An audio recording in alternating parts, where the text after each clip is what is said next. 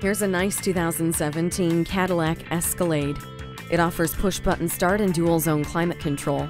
It also has steering wheel controls, privacy glass, and running boards. It's attractive and just looking for a new home.